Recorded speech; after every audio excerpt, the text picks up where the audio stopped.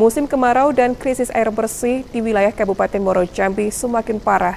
Sejumlah warga di Desa Sukabaju, Kecamatan Mestong, Kabupaten Muaro Jambi terpaksa harus pergi ke pinggir hutan agar mendapatkan air bersih. Sejumlah warga yang tinggal di Desa Sukabaju, Kecamatan Mestong, Kabupaten Muaro Jambi, akibat musim kemarau saat ini terus terjadi krisis air bersih berkepanjangan.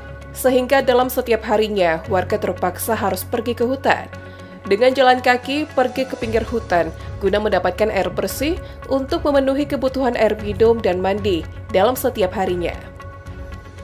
Suripto, salah satu warga di RT 2 Desa Sukamaju, Kabupaten Muaro Jambi. Saat ini telah terjadi krisis air bersih hampir tiga minggu lebih. Sejak mulai datangnya musim kemarau dalam dua bulan terakhir.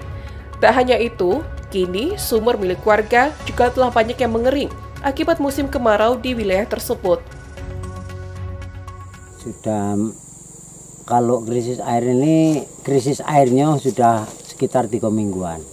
Kalau kemarau sudah sebulan lebih, cuman krisis airnya sudah sekitar tiga mingguan, Pak.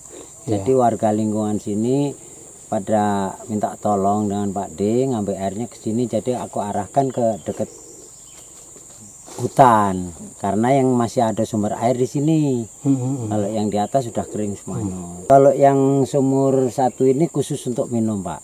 Hmm. Jadi kalau yang untuk mandi ada di sebelahnya. Oh gitu. Jadi misalkan orang nak minta untuk mandi, untuk cuci-cuci piring, cuci pakaian, aku arahkan ke sumur yang sebelahnya. Hmm. Hingga saat ini, warga setempat harus mengharapkan bantuan air bersih dari pemerintah agar bisa mencukupi kebutuhan air bersih dalam setiap harinya. Dovia Putri Sanjaya, JEK TV melaporkan.